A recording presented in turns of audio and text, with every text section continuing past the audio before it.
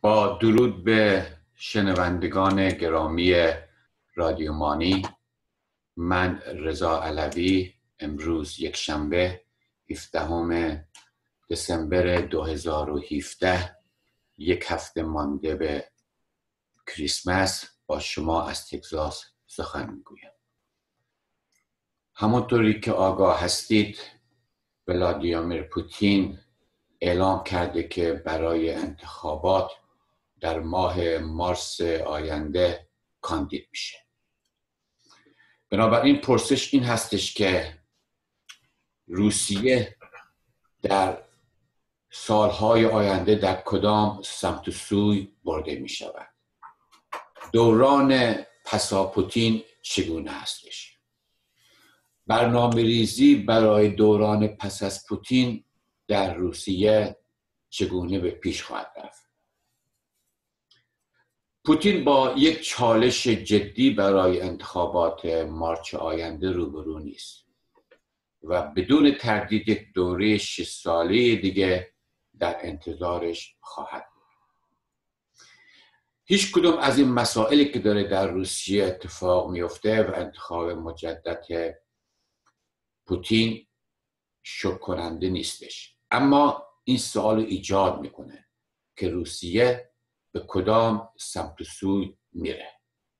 و این پرسش و پشتبندش میاره که چگونه اروپا و امریکا می‌تونه با روسیه پوتینی یا با پوتینیسم تعامل کنه. واقعیت هم اینه که قبل از سال 1991 به سختی می‌شد فروپاشی اتحاد جماهیر شوروی رو پیش بینی کرد. هیچ کسی نمی‌توانست تا قبل از سال 90 پیش بینی کنه که در سال 91 قرار به این است که شوروی فروپاشی کنه. امروز هم بدون تردید هیچ کس نمی‌تونه با پایان دوران پوتینیسم متصور بشه. فرض اصلی در بین مقامات و تحلیلگران اروپایی و امریکایی و کارشناسان و حتی خود روسا این هستش که پوتین برای مدت طولانی بر سر کار خواهد پوتین در در واقع امواجی از شعله های میلیتریستی ملی در حال دمیدنه. موقعیت داخلیش تثبیت شده و نفوذ روسیه رو در جهان افزایش داده و از سوی دیگه برای روسیه مشروعیتی در منطقه در خاورمیانه و در اروپا به وجود آورده. تا کنون در سالهای اخیر میشه ادعا کرد که پوتین خوب کار کرده. اما آیا می‌تونه در دوره آینده و به عبارت دیگه تا سال 2030 همین شیوه رو ادامه بده؟ سالها پیش یک روزنامه‌نگار روس از یلسین پرسید که اوضاع روسیه چطوره؟ یلسین فریاد زد که خوبه. بعد روزنامه نگار از او خواست که بیشتر توضیح بده و یک جواب طولانی تری بده. یلسین بلندتر فریاد زد خوب نیست. این واقعیت هم در حال حاضر به گونه ای ما باید در پشت پرده روسیه بجوییم. ولی این مسئله مطرح است. شوروی که به عنوان یک امپراتوری بزرگ از 1917 تا 1991 بر نیمه از جهان مسلط بود و سپس دوران تحقیر خودش رو آغاز کرد. آیا پوتین می‌تونه در حال حاضر انتقام تحقیر رو بگیره؟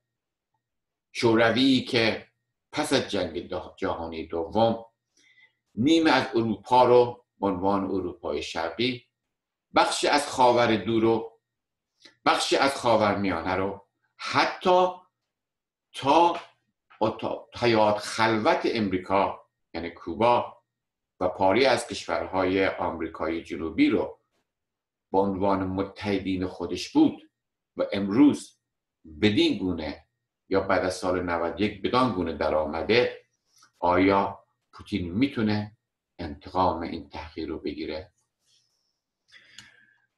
ببینیم که شرایط چه بوده. پس از تظاهرات بزرگی که در سال 2011 2012 بر علیه پوتین انجام شد پوتین نیاز داشت که مشروعیت سیاسی جدیدی رو پیدا کنه.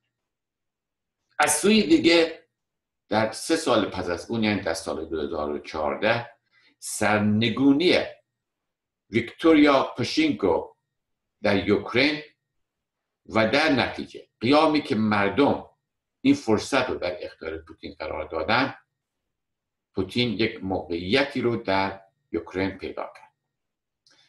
تردید غرب در سوریه پوتین رو متقاعد کرد که می‌تونه از کارت شبه جزیره کریمه در برابر ایالات متحده استفاده کنه و استفاده کرد. از سوی دیگه روسیه در حداقل دو سال پیش درگیر جنگ در سوریه و از سال 2014 درگیر جنگ در یوکرین بوده. و کاملا عادیه. نه فازی که باید از اون بود جامعه روسیه در آغوش تفکرات تهاجمی ناسیونالیستی و احساسات ضد غربیه. روسیه هیچ علاقه ای به حل شدن موقعیت های کش نداره و استفاده از نیروی نظامی رو کلیدی برای دستیابی به اهدافش در سیاست خارجی می‌بینه. تولید ناخالص داخلی روسیه ممکنه پایین باشه و حتی به اندازه ایتالیا نباشه. و اونا رو در ایجاد تنوع اقتصادی بگیم که شکست خوردن. اما پوتین با بالا بردن اعتبار بین المللی خودش این کمبودا رو جبران کرده.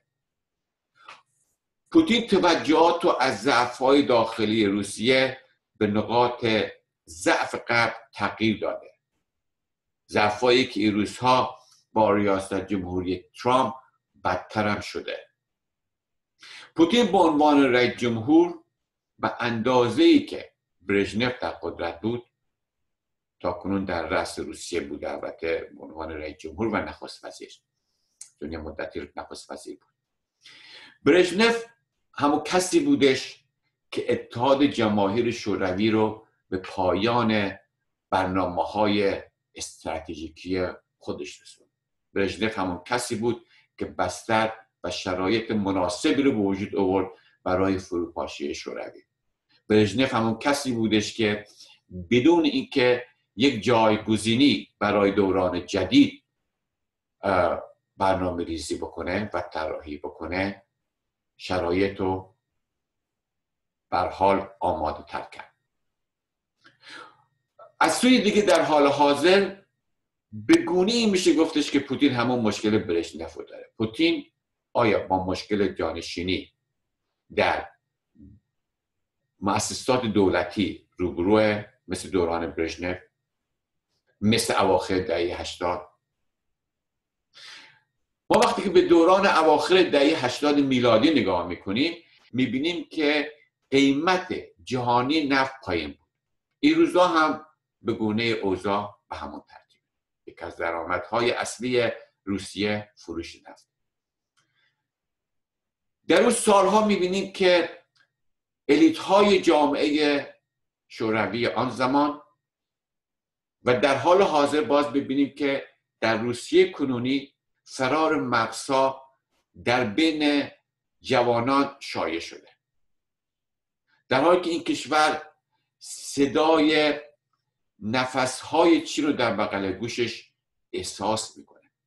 تر پوتین برای اتحادیه اروپا روسیه یا اوراسیو یک پوستی خالیه. گذافگویی های ناسیونالیستی ممکنه به ضرر خود کشور تمام بشه و پوتینیست ممکنه مقوله باشه که در حال حاضر بهترین روزهاش در حال تمام شدنه. اگر فرض کنیم که پوتونیست داره نفسهای آخر خودشون می‌کشه آماده شدن برای تغییرات مهم در روسیه منطقی خواهد اگر کسی خودش رو برای فروپاشی سیستم شوروی آماده کرده بود اجتناب از اشتباهات امکان پذیر بود. در تئوری برای مدرنیزاسیون و ثبات روسیه انتخاب دیگه جز اروپا نداره. وقتی که زمان مناسبی فرا برسه روسیه باید با یک پکیجی از سوی قبل روبرو بشه تا بتونه شرایط سخت و آسون کنه. از جمله چیزهایی که در این پکیج باید گنجانده بشه خروج کامل نیروهای خارجی از اوکراین گرجستان و مولداوی خواهد بود. مولداوی یک جمهوری هستش که در کشور در اروپا شرقی قرار داره از قبل با رومانی و از با اوکراین همسایه است.